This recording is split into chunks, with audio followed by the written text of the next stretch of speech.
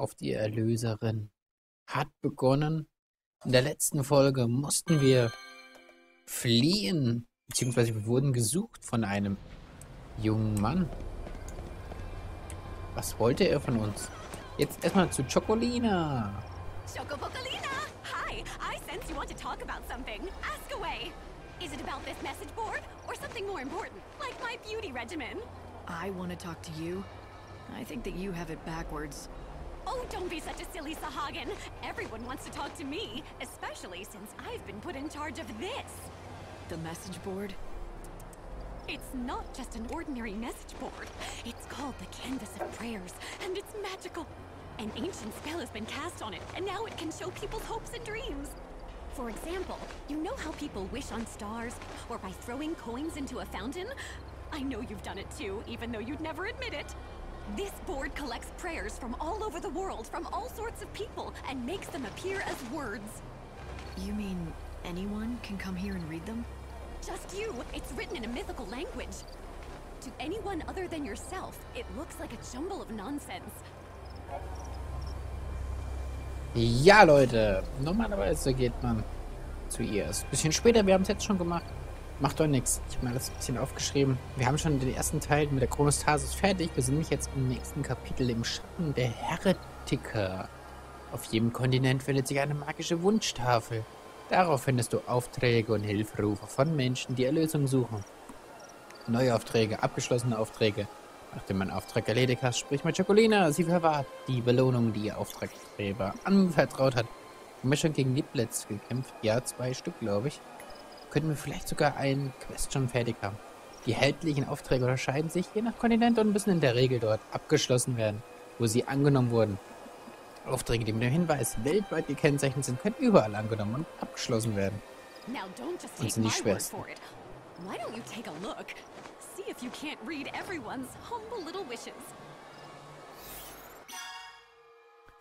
Der Schrei nach Rache. Ich hasse sie. Ich hasse diese Niblets. Sie nahmen mir meinen Liebsten. Könnte ich kämpfen, würde ich es ihnen heimzahlen. Wenn doch nur jemand an meiner Stelle Niblets vernichten würde. Und das haben wir sogar schon. Wie geil ist das denn? Kann ich damit auch schon mal abhaken. Cool. Ja. Damit bekommen wir 80 Gil und ein Aufblaszhäschen. Maximale TP-Wert plus 10, Angriffskraft plus 1. Ist zwar nicht viel, aber nehme alles mit. Lieber Gott, hilf mir. Ich habe als Geschenk für eine Frau, die mir einmal aus der Klemme half, eine Mokri-Puppe genäht. Doch ich wurde von einem Monster angegriffen und sie ging kaputt. Hätte ich etwas zerrissenes Leder, könnte ich sie sicher flicken. Leider eignet sich nur das weiche Leder von Kremlins dafür. Jetzt dürfen wir Kremlins besiegen. Na toll. Aber diese Puppe wollen wir auf jeden Fall reparieren und Glasfasern. Ich wünschte, ich käme an Flüssiggas. Mit diesem sonderbaren Glas, das man nur von Ma Majobentosen bekommt, könnte ich Garn ummanteln und so Stoffe weben, die vollkommen schmutzabweisend sind. Wenn mir doch nur jemand helfen könnte. Wir können dir nicht helfen. Noch nicht. Nächster Punkt für uns ist Krämer und hier. Ausstatter. Ausstatter, Kleidung und Dekor kaufen. Auch das Abhaken auf der Liste haben wir jetzt gemacht. Beim Ausstattern kannst du Kleidung kaufen, mit der du Lightnings-Parameter im Kampf verbessern kannst. Dekor, welches ebenfalls bei Ausstattern erhältlich ist, hat keinen Einfluss auf Parameter, erlaubt dir doch, Lightnings Aussehen noch mehr zu individualisieren. Dasselbe Dekor lässt sich an mehreren Kleidungen anbringen. Das Warenangebot unterscheidet sich je nach Laden. Darum prüfe immer gleich, was ein Händler verkauft, wenn du einen neuen Ausstatter entdeckst. Insgesamt gibt es mehr als 80 unterschiedliche Kleidung mit unterschiedlichen Merkmalen.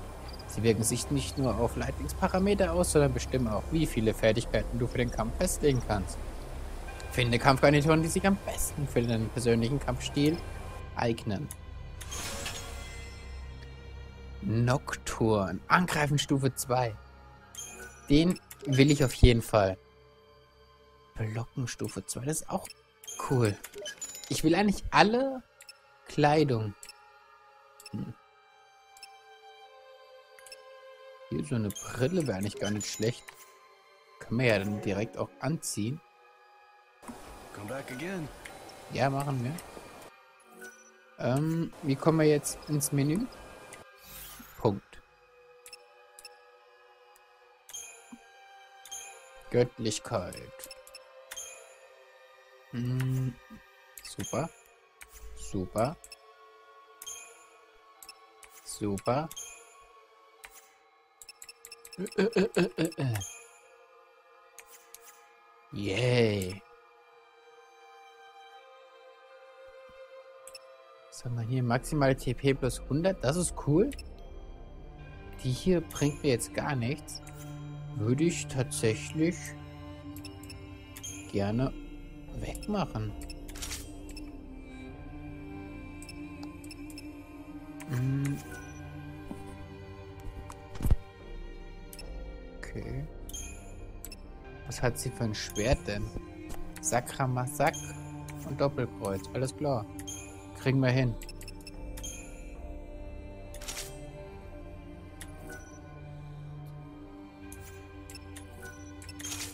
Ja. Ja. Weil Angreifen Stufe 2 ist tatsächlich ein bisschen stärker, sage ich mal. Yay! Mal wieder das Speicher voll. Ich hasse das. Dass da einfach die ganze Zeit dieser Speicher immer voll ist. Nachsicht. Nein. Die Ansicht schon besser. Okay. Nach Osten gucken. Uh. Shit. Ah, ich will kann da oben noch die Dingens holen. Okay. Ähm. War auch nicht. Warum ist sie denn so blöd, da drüber zu springen?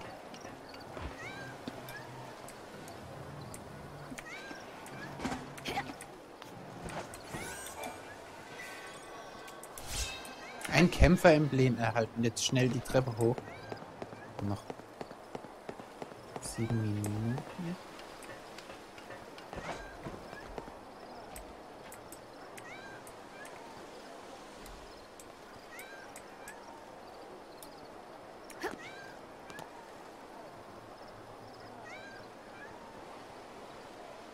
So.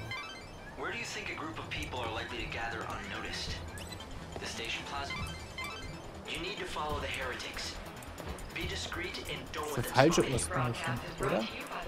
Da sind sie. Alles klar.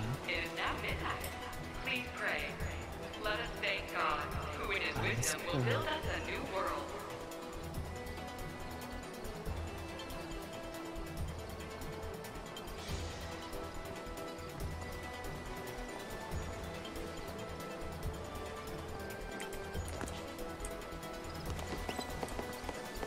the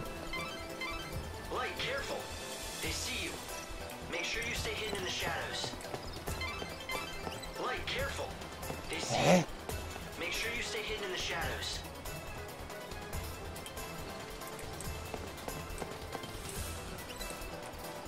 Wie kann mich denn da einer jetzt gesehen haben?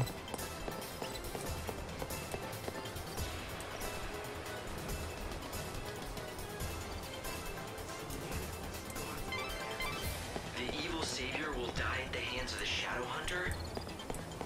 I sure don't like the sound of that. When they say savior, do you think It's me, alright. It has to be. But who's the Shadow Hunter? I don't know. Right now, no one else does either. The information's incomplete. Ah, die sind direkt vor mir. Fuck, ey. thinks he could be the leader of the heretics. So if the Shadow Hunter leads the cult, Dass sie das nicht merken, dass wir pinke Haare haben. Okay, da sind sie.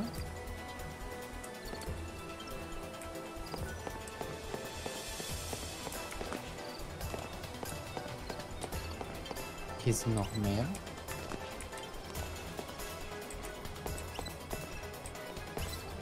Hä? Light, careful. They see you. Make sure you stay hidden in the shadows. Ja, ich versuch's ja.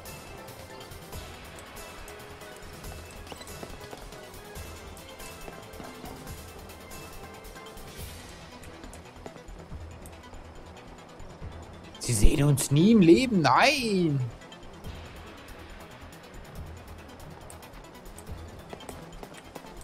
Okay, sie rennen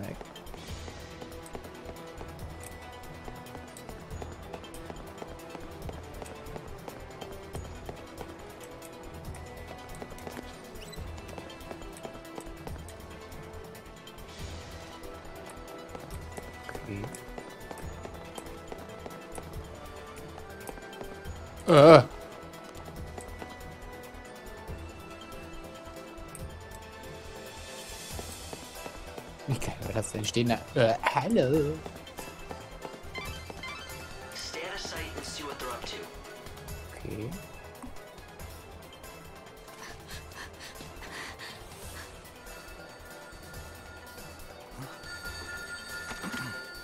Show that you are one of us.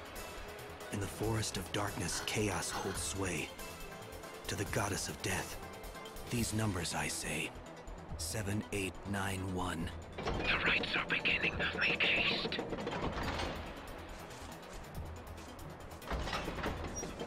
Sieben, acht, neun, eins. Sieben, acht, neun, eins. See that? I think I just found my invitation to the party. Yeah, so when the phone rings, you have to give them a four-digit code. Simple. If you have the Hey, ich hab's numbers. doch gehört, was er Right. gesagt. Simple. So any bright ideas about how to do that? I mean, Hä, considering 7, you're 8, doling 9, out 1, er hat's doch eben gesagt. Head back to town and see what you can uncover. Das ist ja jetzt einfach ein Witz, weil das ist der letzte Punkt, den ich dieser Folge machen will. Und ganz mal ohne Witz. 7891, er hat es eben gesagt am Telefon. Luxarion, die vier Ziffern. Die Kinder Etros halten jede Nacht Rituale, ab, in denen sie unschuldige Frauen opfern. Um ihre Zeremonie zu stürmen, brauchst du den Code, der dir Zugang zu ihrem Versammlungsort verschafft.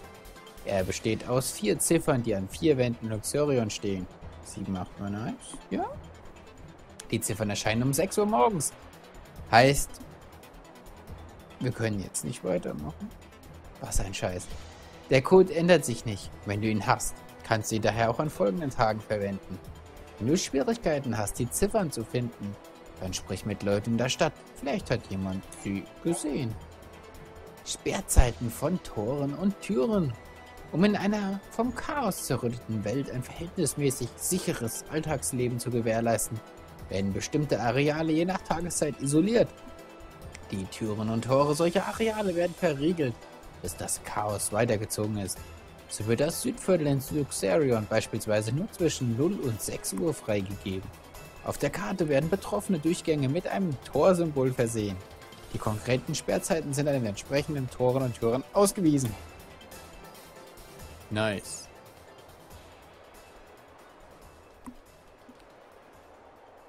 Heißt für uns, wir kommen jetzt nicht mehr überall hin. Hier ist die Zeit stehen geblieben. Okay, dann kann ich wieder reden. Alles klar. Weil wir haben jetzt Suche nach Holmes abgeschlossen und wir haben wankelnder Glaube abgeschlossen. Hauptmission haben wir die verfluchte Erlöserin geschafft. Im Schatten der Heretiker haben wir eben fertig bekommen. Wir müssen jetzt vier Ziffern finden. Finde den Code. Das ist 1.3. Eieiei, ob wir das finden. Das sehen wir in der nächsten Folge. Wenn es wieder heißt Let's Play Final Fantasy Lightning Returns. Bis dann. Ciao.